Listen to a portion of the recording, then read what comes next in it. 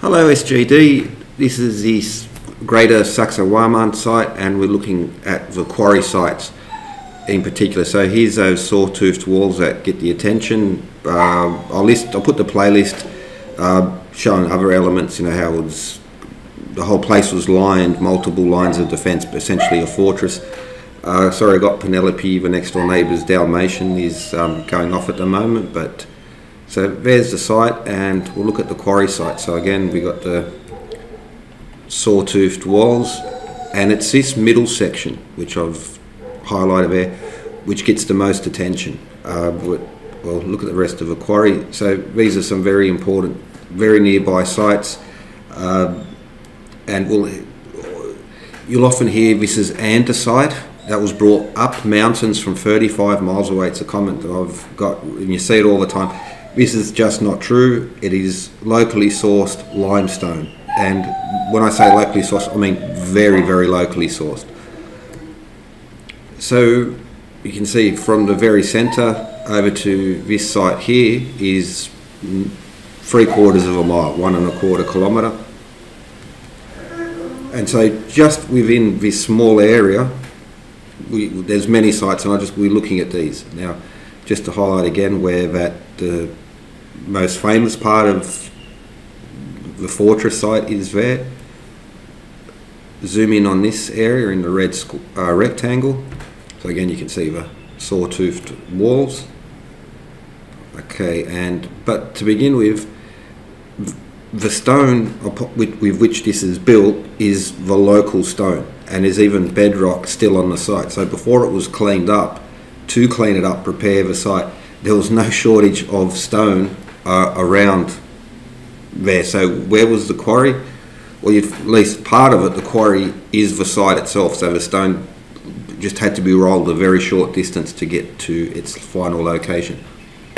Uh, I'll, I'll come back in a moment, but uh, there's a focus on on the size of the stones as well, and well, the, most of it is not those uh, megaliths. And in the next part, I'll, I'll, I'll talk about the moving, show examples of primitive moving techniques, and look at the larger the megaliths. But most of it is stones that are under 100 kilos, 220 pounds, maybe 200 kilos, so 440 pounds, a few uh, pushing for a ton.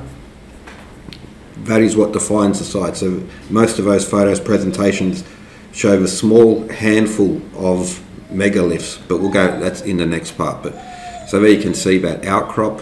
So there's plenty of, the site itself is made of the stone upon which it is built. So the quarry it's, itself is the site.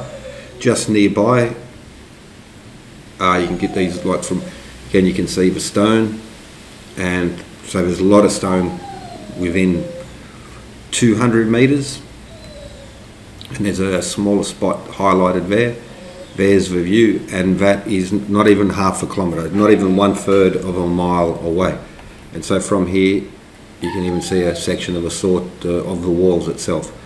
Those last photos that I showed these ones here from this area well you can see them there. So there's lots and lots of stone just waiting to be sourced and quarried and brought to the site not even a third of a mile not even half a kilometre.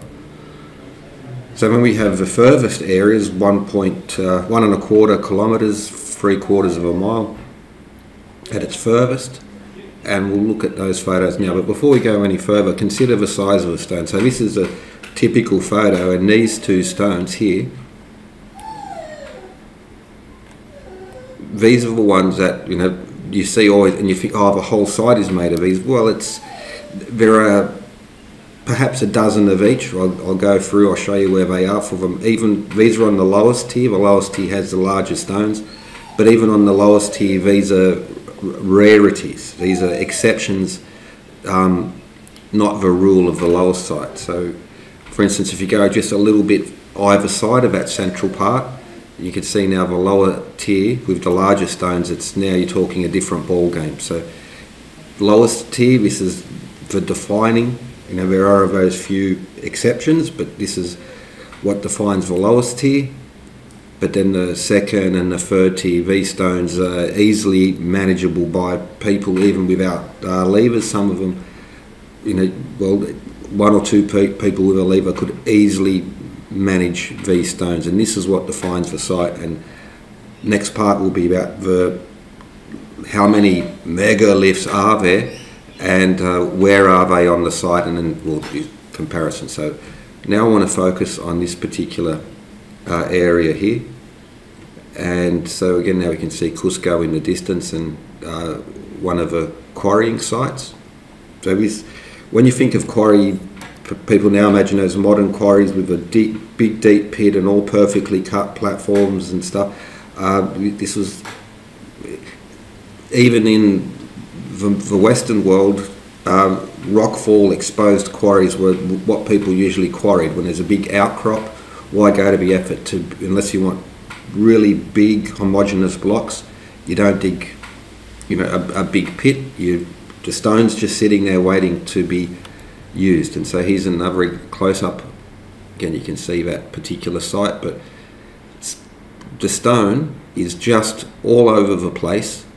Boulders just waiting to be collected. This is, the, you know, where is the quarry? Well, the, quarry is on the site, and the quarry is all around the site, and there's no shortage of stone. Here's another view of that, angle, but I'm going to focus in and highlight that particular part because you can see that the stone is naturally fractured, ruptured. We have it bedding planes or strata that are there. Uh, half the work is done for you. It's just now a matter of finding the loose rock and levering it out. Uh, this would be you know, a classic example, you know, chisel, you know, bang out the corner, and then you have a nice block exposed, ready to go. Here we have another piece, and so this would be very much like the uh, giant monolith next to the gate, and well, the crack is already there to do. So you don't. Where is the quarry site? It's not this pristine site. They're just all over the joint. These types of stones. Every time I show a photo, just look in the background, and there's this stone that's waiting to go. There's a bit of uh, pareidolia. Look, there's a jaguar face. Okay, but um, just waiting to go. Again, here's a nice big block. You dig around, trench it out, remove that loose uh, rock around it, ready to go.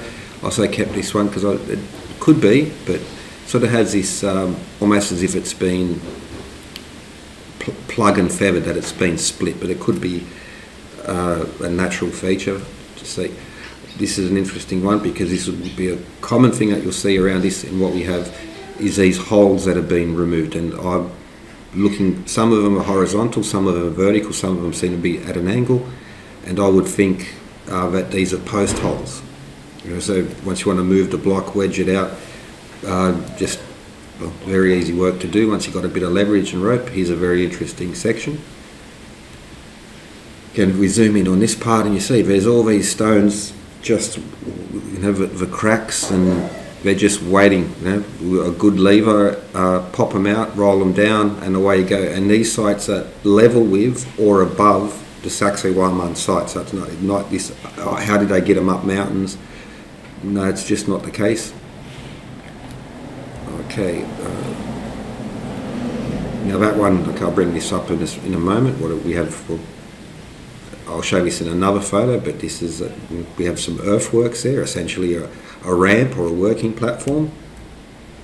Again, now same place, but just a little bit over. But again, we see there's a lot of information from these um, photos, and so the strata line. These are all, and these are running throughout. I'm just highlighting these. These are running throughout, vertical, horizontal cracks, just waiting for you to take advantage of them. There's quarry in ancient Egypt. You can see in Aswan where they took advantage of the natural cracks. Again, this is limestone, not granite, so copper tools perfectly fine. Peruvian copper high in arsenic like Egyptian copper, which makes it arsenical, either arsenical copper or bronze, so very good tool to use for, for these tools. And again, just the, the cracks that are running throughout, just it's stone waiting to be plucked. Zoom in on this particular piece. What do we see here? Well, uh, one of the reasons for polygonal blocks rather than rectangular blocks is it, it, well it's done for you. You just got to shape the stones, um, and it's much less work to square them off than it is to polygonally fit them. So compare that to this section, for instance. Zoom in on that one. Compare those, and you can see how by using these natural cracks in the blocks, which are just given to you by nature, you already have a lot of the work done with polygonal type of stone.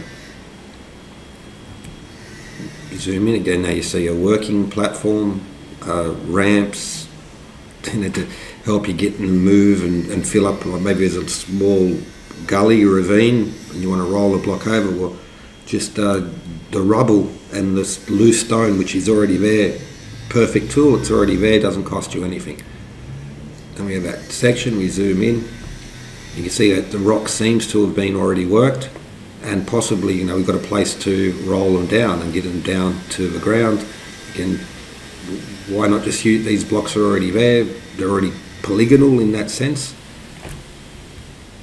and so this top corner now it's um okay we have a crack so this block just waiting to be extracted. This one uh, wall sections we see shape no that matches the shape. Uh, previous video I showed the did a tour of wall sections and showed how the incomplete parts where it's yeah it just fits in with that earlier video. And so these two blocks seem to be you know, fitting in very perfect, very nicely. And if you look up close, there seems to have been tool marks there, but this has already been worked to a certain extent.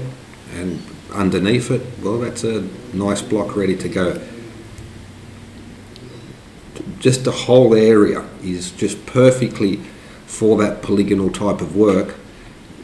Um, the natural cracks, and well, if you want to do, if it's already perfectly fit, then you just got to polish it up a little bit, grind it down and you get to fit really well.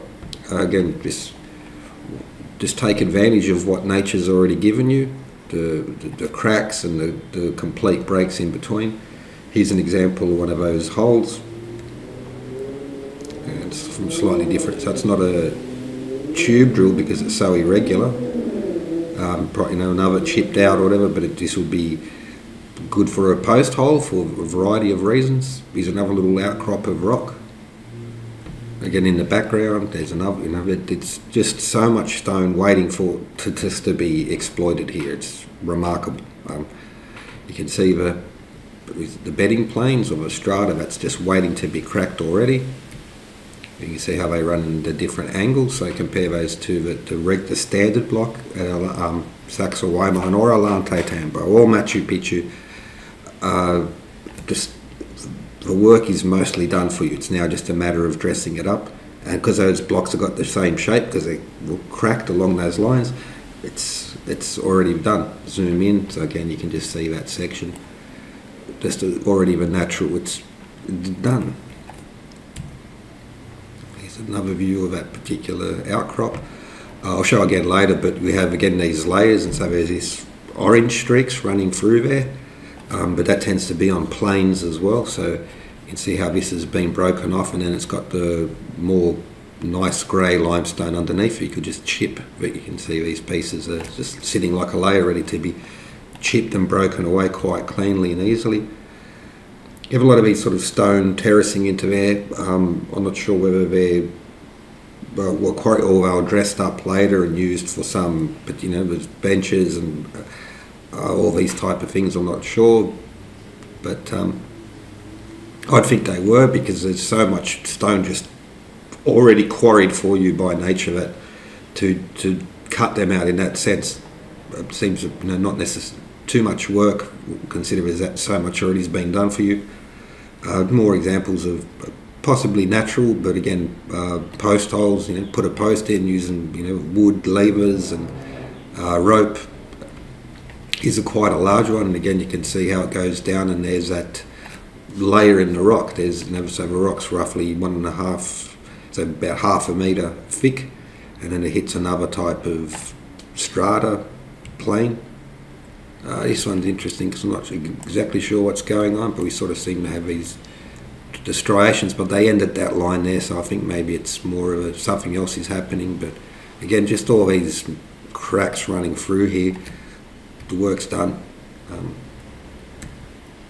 just these channels that are also carved in, maybe to move the stone down, maybe for for drainage. I'm not sure. Just showing those. Again, just like yeah, it's it's there. It's it's done done for you already by nature. These outcrops, just and stones ready to go um, everywhere. The whole site's a perfect quarry. We see a, these um, areas being carved out. Got two post holes there, and they seem to be vertical, so could be for manipulating the stone, maybe because there's sort of a disbench little, and they have two post holes and a shade cloth over the top. I'm not sure. Again, just for that polygonal work, it's just everywhere already done for you. Uh, so this one, so again with uh, planes where you can see it's, and, and especially this one, this is basically the thickness of the walls there. So that's probably one of nature has defined how how it's yeah it's all done for you. You can even see um, where it's sort of more clean, is it the word homogeneous blocks, but still we see these places where it'd be easy to naturally crack them. Uh, seems to be a post hole type thing there as well. Again, just, yeah, uh, what more can you say? Uh, partially carved out block, and this one as well seems to again match those corner pieces as well. So it could have been there was a block on top, um, because why, again, I'm thinking, why would you go to the effort of carving those out, chipping those out, when, you know, in outcrops like this, they're just, nature is just handing them to you on a platter. Get more of these natural or um, man-made, but again, you can see these planes that are in the stone itself. It works easy to do, you know, to get these out. Um, we have these, what would you call them, cairns the stone piles, I don't know whether they're modern or whether they go back to uh, the original time. Getting an overview. They just the boulders are just strewn on the ground, waiting to be collected. The cracks are there, waiting to be split. The perfect size, all ready to go. Um, also, these more vertical cracks. So at the very least, you carve out a piece and then you have an open pit, and then you can just split them out. They're just again waiting to be the work's done. Ace is an interesting one. Is this vitrified stone? Well, I don't think so. Okay, it's uh, especially in limestone. That's where you get your flint and your chert forming. And these make these are the tools that you'll find all over the ancient, like universally around in the ancient world. Flint, chert, these make excellent tools for carving granite and other tools as well. And I think that this is what uh, these are, yeah, flint or chert, and they're a decent size as well, so handy for small arrowheads, and maybe even up to fist-sized uh, hand tools like larger hammers and chisels and picks as well more bedding uh, cracks. Okay, these are interesting. These are lintel stones. And now, for instance, at uh, Puka Pukara, just up the road, at the Red Fortress, there's examples of you know, lintel stones. And you'll also see them in Sacsayhuaman itself. But I think these are especially interesting because they seem to have uh, unless someone's come along later. I don't think that's the case, and I don't think that they've been dug out. Like so, that the earthen platform underneath is resid. Like this seems to have been the original quarry work, and so they you know, put them on a platform and bang, bang, bang. The workers can go at them. This one on this side seems to have tipped over. The one on top, much more complete. The one on the bottom still has to be finished and it's sort of be convenient to have these two on top of one another because then you can get them the same size because you just yeah just hang a plumb line and follow them down and it looks like it's uh, tipped over maybe that was the angle they were set at I don't think so but it looks because of a split there I think they've been tipped something going on there but uh, Okay, there's another again. I think these have been yeah, set up on the earthen platform, make it easier to work. Again, just stone waiting to be quarried out. That's the Temple of the Moon, Templo de la Luna. Again, just you can see these for even saving for the larger stones, these large splits. Again, what can you say? It's works there to be done. Again, not sure if these were piled in recent times or go back. Uh, go back. Were these um, blocks dismantled wall or, or half finished and waiting to be collected, then repiled later? Uh, because they're in that restricted area, I'd probably think that these are maybe going back again to the original site where we've got these various stones uh, storage area before they get transported. For instance, the retaining walls here in the background um, are different. These are like higher quality, so I think that these would have been moved to the proper sites. Very interesting one here. Uh, firstly, notice the like you have that orangey layer. Again, that's where it could be split off. But what we have is uh, essentially drill holes and nice place to extract the block. Keep in mind as well in the back where you can see this has clearly been worked. But there was a nice block here, drill down, pop it out, traditional style, still even with the modern machines, it's still basically the method that they use now. You can also see the plane, the strata level, so we have this orangey stuff, not so good on the top, but you can see it can be flaked off, broken off. So strata, so have a, have a nice thick slab ready to go, be removed quite easily, and those uh, different layer of stone, easy to get away with. And just note the quarrying site at the back there, these are all within short distance, downhill, makes it that much easier. Uh, so you get this orangey stuff here, you can see where it's been cleansed off this upper part as if I were preparing this area for quarrying next. Butts up against that very nicely quarried area already. Uh, very few cracks running through it, so we, here we can extract nicer blocks. Just another example, these plate, they're just popping up everywhere all over the area within a short distance from Sacsayhuaman. And there's the rear of um, where that uh, cave with the chair is.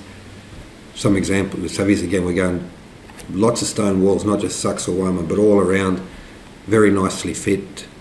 Again, you see the depth that the that the walls go to. Seems to be a double layer here, and uh, the handrail there will give you an idea of the size. And this is the defining size, whether it's Machu Picchu, Cusco City, uh, Sacsayhuaman, and all these other sites as well. Of course, there are here and there larger blocks, but uh, these could be virtually carried by a person, probably a little bit too much to you know be comfortable, but roll them, lever them, sled them around, just again not a problem. Again, another example of okay, we're going to build these. It's already polygonal for you. Wedge them out, remove them, and you've got so much work already done. Just another example. And you can see that it's already been worked. Stone has been removed from behind. Okay, so again, big block on the ground. This one uh, too, partially worked. Split in there. But that piece, so you can see the natural crack already there in the back. And this one seems to have, you know, seems to fit onto that wall, so it's been you know, fallen. The natural crack caused it to break out, or just as easily, these could be levered out. Uh, I mean, just this is a if you want to build polygonal, this is a type of natural stone that you want around because the work is already done. Most or majority of the work is done. Those smaller blocks are there just bare by the bucket load, and uh, you know, and then you get uh, larger stones for those rare megalithic examples that are there as well. Uh, again, this stone's got those little black specks. This, these might be um, flint or you know, chert in there as well, so not just big chunks, as often you'll see small sections of flint and chert in there. And that's what I think these are, could be. Um, uh, nice. Uh, now the, the northern, the nice wall, big wall everyone looks at it, Sacsayhuaman, there are stones with the orangey flecks in there, for the, but for the most part they seem to have gone out of their way to choose uh, nice grey limestone blocks uh, to use those. But when you look around the rest of the site, especially on the other side, you will see these orangey um, tinged stones that, uh, with this type of coloration in the larger side as well. And overlooking the city. So we come back within one third of a mile or three quarters of a mile there is so much stone still waiting to be cleansed, and you can see that the site has already been worked. We don't need a big quarry pit. Um, the site itself, right where the walls are, is you know it's that's what the natural bedrock is of that particular area. There's lots of places where there are just perfect outcrops to remove these stones, and so uh, in the case of the we have excellent tools for that uh, uh, this type of material. I'm pretty sure that this is it's a common feature in limestone and the, just like Aswan Quarry with the dolerite dike running through it, those dolerite tools, the site produces them, they're right there for you. Uh, yeah, so what can you say?